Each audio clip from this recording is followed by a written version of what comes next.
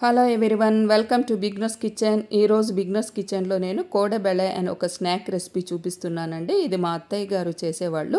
ఎవరైనా కూడా చాలా ఈజీగా చేసేసుకోవచ్చు. ముందుగా దీనికోసం ఒక పెద్ద మెజరింగ్ కప్ ఉంటుంది కదా ఆ మెజరింగ్ కప్పుతో రెండు కప్పుల బియ్యం పిండి తీసుకుంటున్నాను నేను.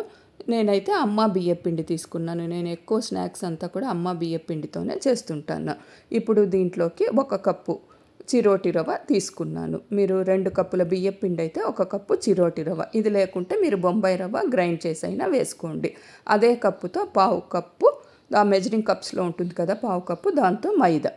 అవి వేసేసి ఇవి ఇలాగే పెట్టేసుకొని ఆ పావు కప్పుతోనే పచ్చి కొబ్బరి తురుము తీసుకొని ఒక చిన్న జార్లో వేసుకొని బుల్లెట్ జార్లో దాంట్లోకి ఒక స్పూన్ జీలకర్ర ఒక నాలుగు నుంచి ఐదు ఎండుమిర్చీలు. మీ కారాన్ని బట్టి వేసుకోండి. ఇవి రెండుగా వేసుకుంటే మెత్తగా గ్రైండ్ అవుతాయి కాబట్టి ఇలా కట్ చేసి వేసుకోండి. దాంట్లోకి శుభ్రంగా కడిగిన కొంచెం కరివేపాకు. కరివేపాకు టేస్ట్ బాగుంటుంది. కంపల్సరీ వేసుకోవాలి. ఇవంతా కూడా మిక్సీలో గ్రైండ్ చేసేసుకొని ఈ పేస్ట్ని ఇప్పుడు ఈ బియ్యం పిండిలో కలిపేసేసుకోవాలి. అది పచ్చి కొబ్బరి కాబట్టి పేస్ట్ మాదిరి వచ్చేస్తుంది. నేను ఎక్కువ ఈ స్నాక్స్లో చిరోటి రవ్వ వేసుకుంటానండి. అది బాగా క్రిస్పీగా వస్తుంది. అది లేకుంటే మీరు బొంబాయి రవ్వ గ్రైండ్ చేసైనా వేసుకోండి.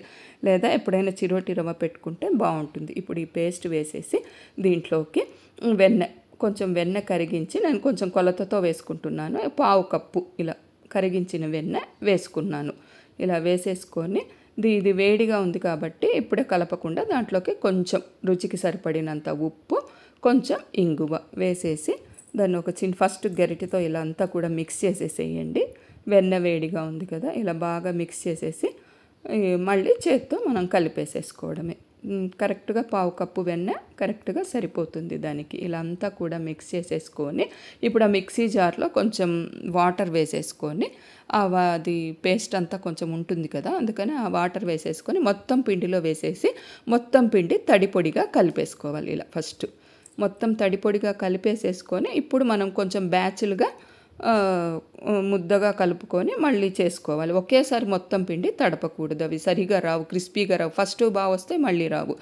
ఇప్పుడు కొంచెం ఇలా మనం ఎంత ఒక బ్యాచ్కి వేసుకుంటామో అంత పిండి కొంచెం తీసుకొని దాంట్లో కొంచెం వాటర్ వేసేసి ఇలా ముద్దగా చేసేసుకొని ఒక బేకింగ్ షీట్ తీసుకొని దాంట్లో ఇలా మెత్తగా చేసుకోవాలి. నాదడం అంటారు దాన్ని. ఇలా ఇలా మెత్తగా చేసేసుకొని సాఫ్ట్ ముద్దలాగా ఇలా చేసేసుకోవాలి. ఇప్పుడు ఈ ముద్దను ఇలా రౌండ్గా ఒక సిలిండర్ మాదిరి చేసేసుకొని దాంట్లో నుంచి కొంచెం కొంచెం ఒక చిన్న బాలు అంత మనము ఒక కోడబెల ఎలా చేస్తామో ఒక రౌండ్కు సరిపడినంత. మా అత్తయ్య గారు అయితే ఇలా మూడు రౌండ్లుగా చేసేవాళ్ళు. అదైతే ఫ్రై చేయడానికి కొంచెం చాలా టైం పడుతుంది. అందుకని నేను ఇలా ఒక రౌండ్తో చేసేస్తున్నాను. మూడు రౌండ్లు చేస్తే అది కొంచెం సిమ్లో చాలా టైం పడుతుంది. కానీ బాగుంటుంది అది కూడా ఇలా.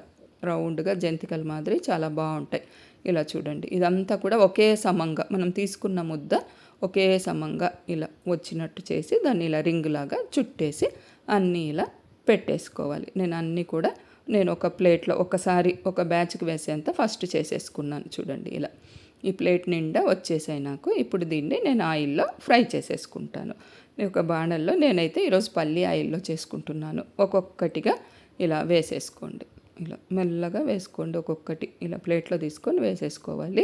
నాది పల్లి ఆయిల్ కాబట్టి కొంచెం ఈరోజు నురగా వచ్చింది అది ఎప్పుడు కూడా ఏవైనా కూడా స్నాక్స్ వేస్తూనే దాన్ని వెంటనే తిప్పేయకూడదు. ఒక హాఫ్ మినిట్ టైం ఇవ్వాలి నూనె బాగా కాగిన తర్వాత దాన్ని సిమ్లో పెట్టి ఇవన్నీ వేసేయండి. ఇవి వేసిన తర్వాత మీడియంలో పెట్టి అప్పుడు ఫ్రై చేసుకోవాలి. ఒక వన్ మినిట్ అలా half minute one minute fry అవుతూనే అప్పుడు మనం ఇలా తిప్పాలి.